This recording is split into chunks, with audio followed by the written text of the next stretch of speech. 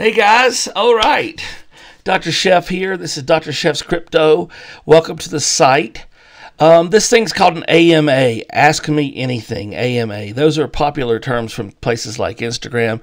We're out there a little bit Instagram, haven't done too much Twitter, some Facebook, but we're really sort of YouTube based. Anyway, um, I've been getting some questions periodically over the last few months, just about, you know, usually it's from people that I know from other walks of life asking me how this all fits together uh, some specific questions. Those are usually answered on the other videos.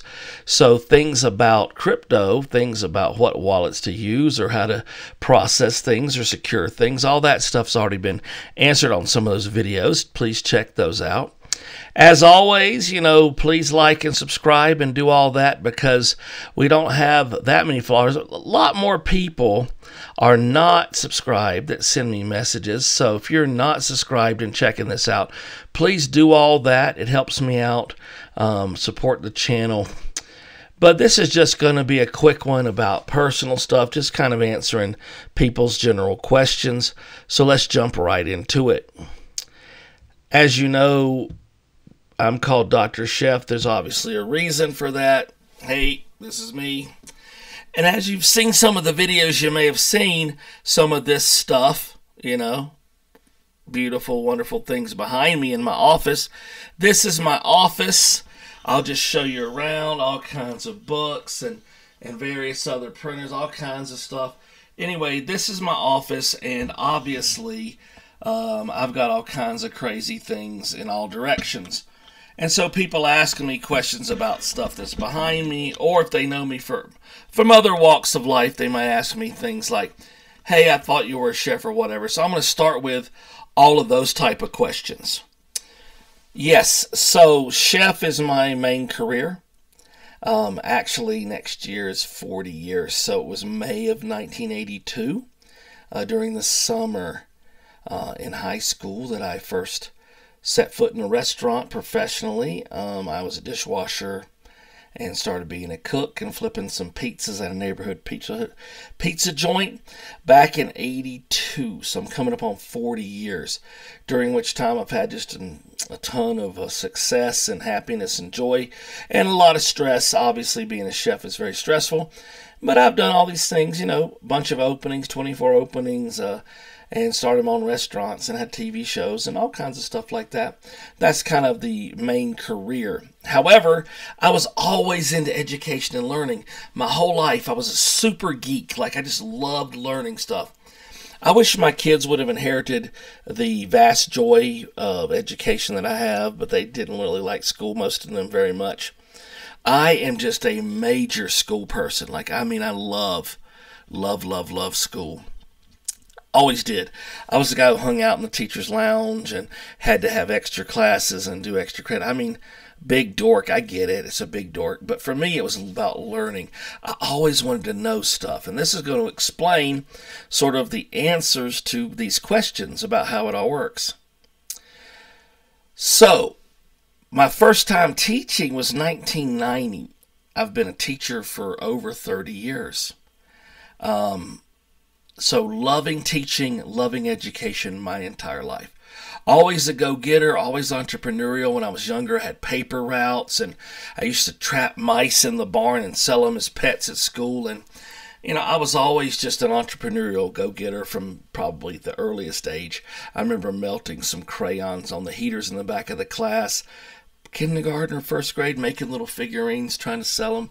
So, I've always been like that.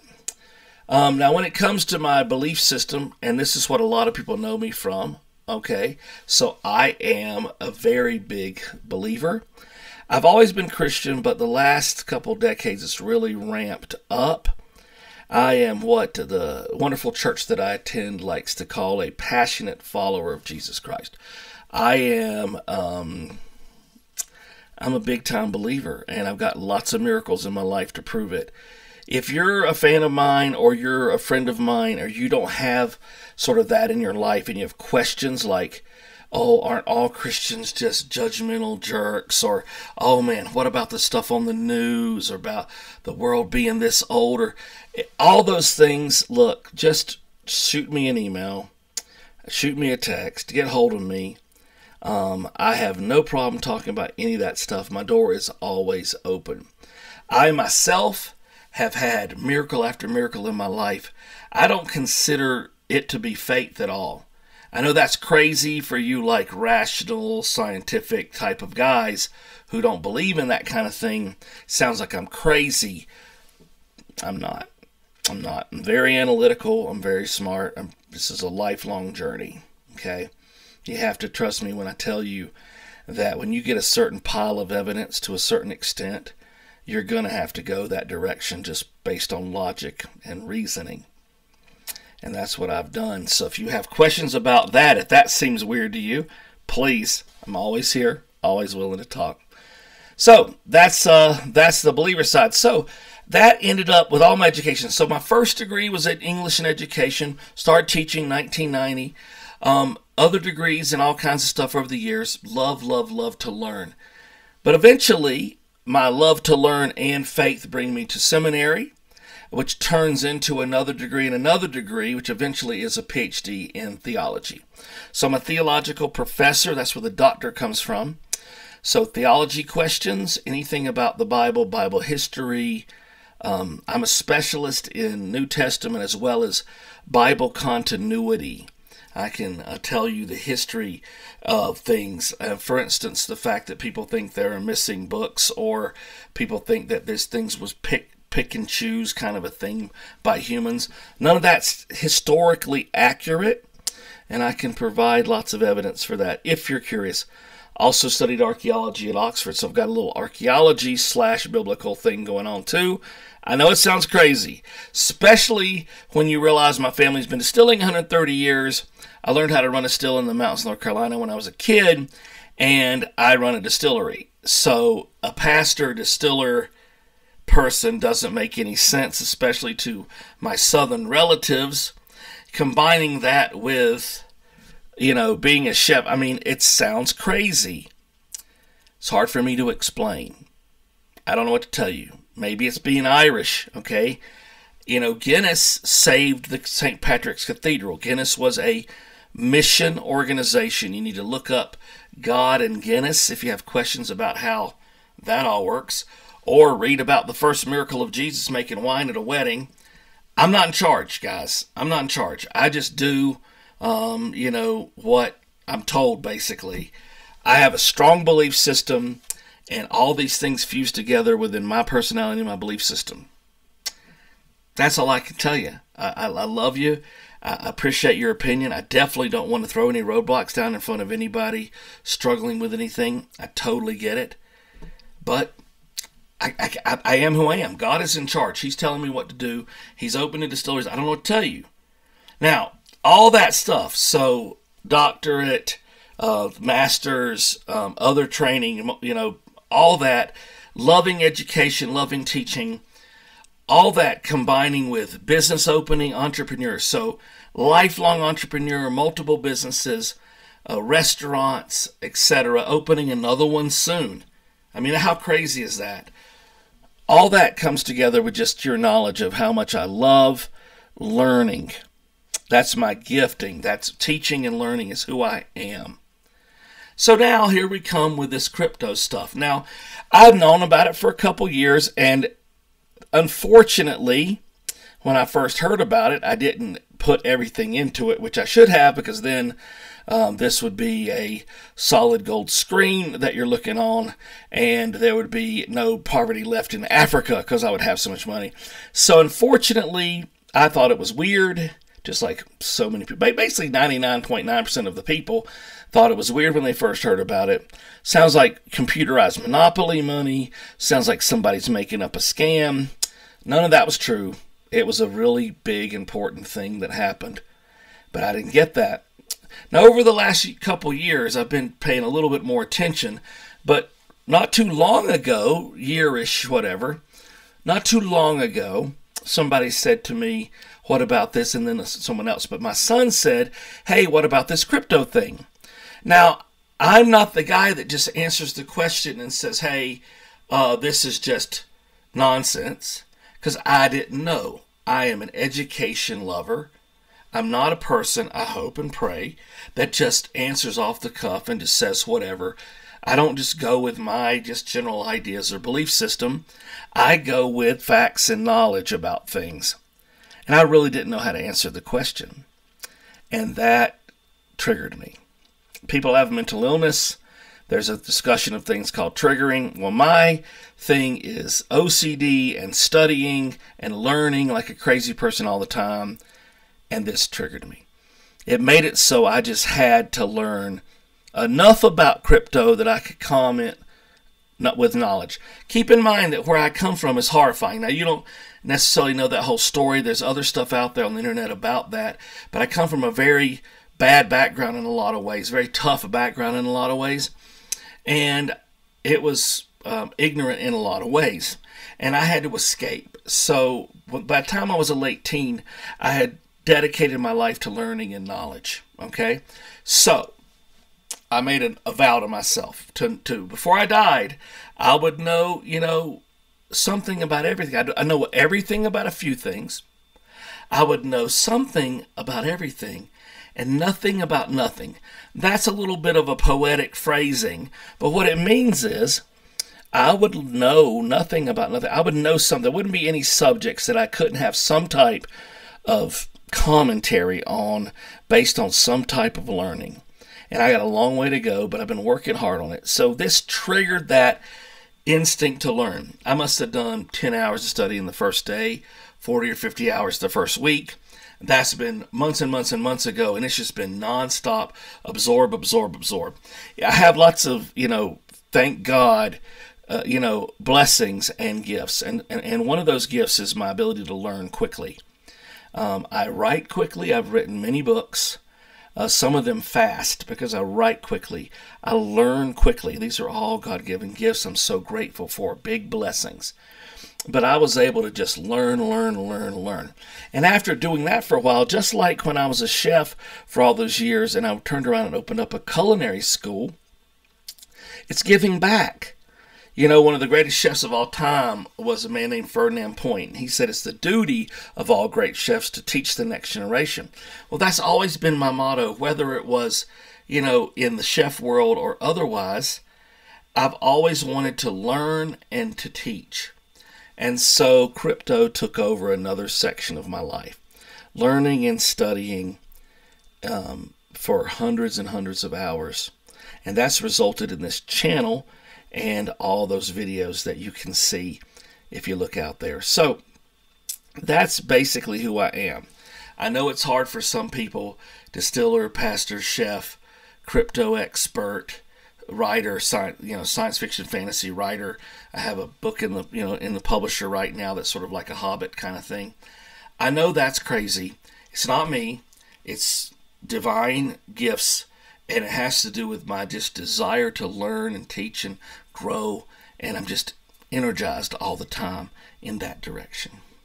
So i hope that that is uh, the main overview. It answers about i don't know 75% of the questions uh, that are personal I would say maybe 30% of the questions, 40% of questions are personal. The other 30 or 40% has to do with crypto, which have been answered in the other videos. Uh, things like what kind of wallet do you recommend, or how do you do this safely, or what about security? Um, what you know, what what you know, site do I need to use, or what kind of platform? All that stuff's on other videos. Please look that up and get all those answers. The other 10 or 20% have just been funny questions and I'll answer a couple of those real quick. Let me see. So yeah, the the first like eight out of ten questions is about what about being a chef or what about a, being a pastor, or whatever, all that kind of stuff. And I, I think I've explained that. Let me see. Uh, here, there's some funny ones. Um, how about this one? How about what's up with the K-pop references? Okay, okay, okay, okay. This is a total side note, but a couple times in various presentations, I've mentioned things that had to do with K-pop, uh, primarily BTS and Blackpink. I know, I know, I know. Same thing, not nearly as big as you know crypto or you know whatever distilling or chef or whatever, but same thing. This desire to learn. A couple years back, I had stumbled upon some kind of K-pop song that I really liked. I think it was the one with BTS and, and Halsey, Boy With Luv. Anyway, I'm like, I, I liked it. I was trying to figure out what's going on, and then I started looking at K-pop bands. Could not figure out what's happening. Then a lot of them had so many people, I just could not even fathom it. I'm like, you know, twice, for instance, as twice as many people as they should. Anyway, it, it turned into studying. It wasn't as big as or, or as deep as something like crypto at all. It was just, you know, I don't know, a couple hundred hours. I know, I know, I'm crazy. Okay, I get it, I get it. But I just started studying crypto. I want to know where it came from and does it relate to you know what is what is the like BTS crypto boy band? How does that relate to our boy bands from the '90s? Is it related? And so I got this study and this history and learned all this stuff about all these different members and how they do things in, in Korea. Anyway, and I have Korean friends. Uh, one of my best friends is Korean. He has me watching some of the Korean shows and all this other stuff. So it just kind of added this little weird section. I had a meeting, a really big, high powered meeting a, a, year or two ago with a bunch of guys from various big cities like LA and Chicago. And one of the guys was from China and he was a, a Korean um, Chinese guy, and he said, um, I said something about they, they, thought I was kidding. He mentioned something, and I talked. I was talking about um, K-pop, and he thought I was kidding. So yeah, um, my kids suggested I use the online um, name K-papa and do videos about K-pop because I know so much about K-pop. I know way too much for an old white guy. I know way too much about K-pop. Uh, but that's just my learning thing. I mean, it's if I had my car break down and didn't have anybody to help me, I would just study the heck out of fixing car. I mean, whatever it is, I want to know everything. I want to know as much stuff as I can.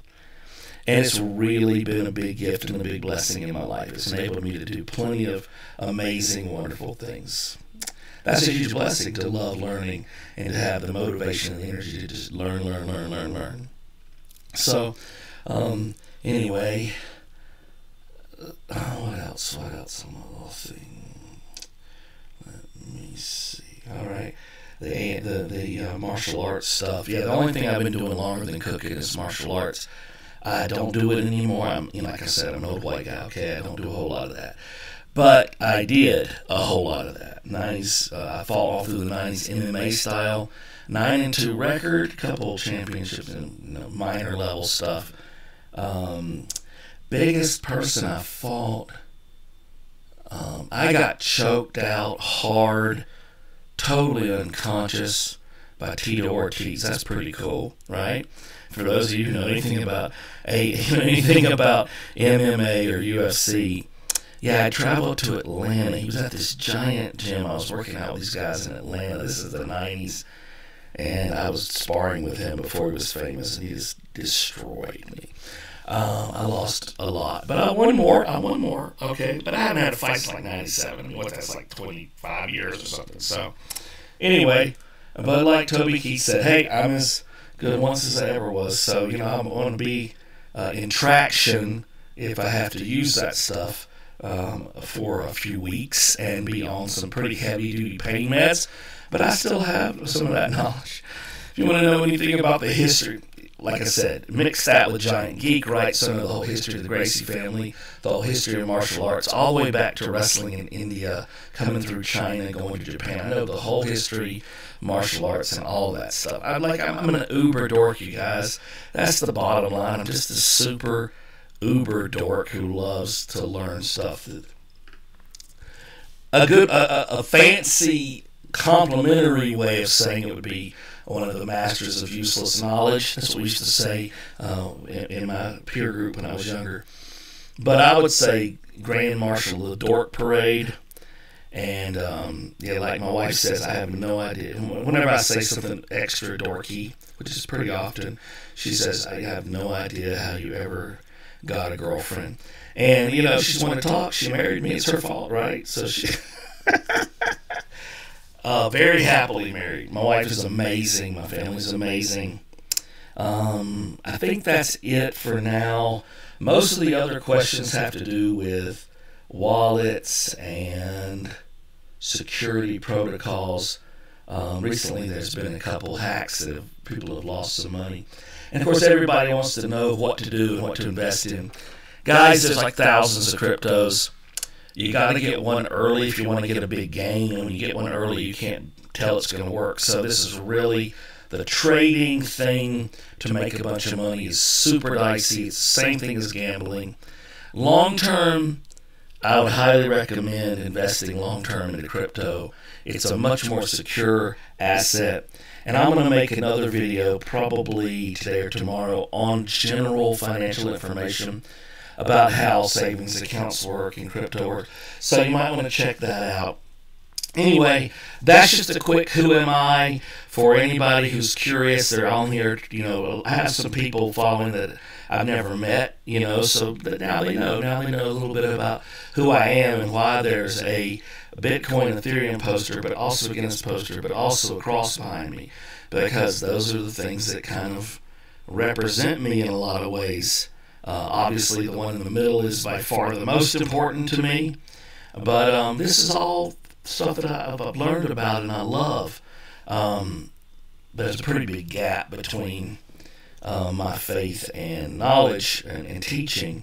But that's kind of the story of my life is just absorbing and learning and doing anything I can to help people right? Whether it's trying to build a culinary school in Africa, still working on that. If you got money and time, help me out with that. But you know, there's all kinds of projects like that that I, try so hard, but it's hard. You know, it's hard to do everything. And um, the bottom line is, I just love to learn, and all this stuff. The most recent, most in-depth study I've done for the last year has been crypto. It's pretty vast, so I can hopefully help you with anything. Go check out some other videos and, and, and take a look at some of the stuff. I started posting videos um, six months ago or whatever. So go check some of those things out. And as always, ask me anything. If you have any questions, feel free to ask me anything. So I'll switch back to this and I'll say good night, farewell. Thank you guys for playing. You're awesome. Dr. Chef's Crypto at gmail.com or uh, put a comment. Please like and share with everybody. Get the word out. We need to help as many people as we can. People are buying high and selling low and losing their money right and left and don't understand safety. And they're, a Bitcoin is stolen every five minutes, you guys, because people aren't paying attention. And that's forty to sixty thousand dollars people are losing every five minutes because they don't know security. They're not paying attention. So please like and share this. Subscribe to it in case put up new videos, and please, uh, you know, do anything you can to support the channel. Thank you so much. Uh, you guys are awesome. Talk to you soon.